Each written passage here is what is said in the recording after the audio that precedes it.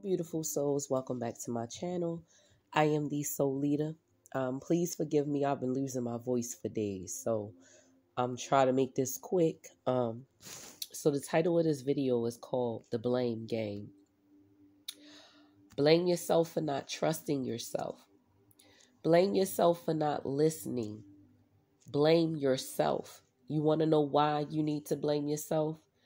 Because you then give the devil too much attention, too much credit, and too much power when you don't blame yourself for your own decisions.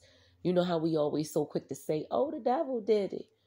Oh, it's some blame somebody else. Blame yourself for the your own decisions. It is the decisions and choices you made that lead you into um, the darkness. It's not always other people.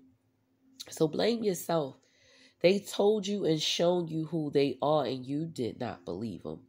And if you stayed, that is on you. Take accountability for yourself. Yeah, you may have not known better, but here's the thing you may have been taught bad habits that have been programmed into you that affected you making wise decisions.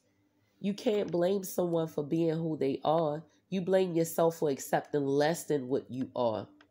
Beautiful soul. All you have to do is take accountability for your actions.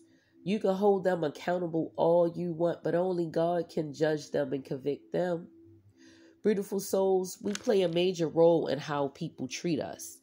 Do not let your lessons turn into unnecessary years of regret like I did. I broke my own heart. And how did I do that?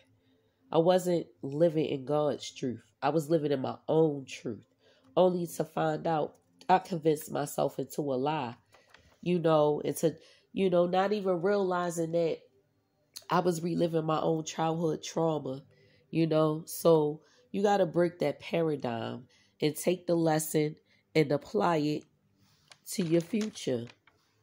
So, with that being said, beautiful souls, until next time, peace and blessings. I pray that this was helpful to you. Until next time, see ya.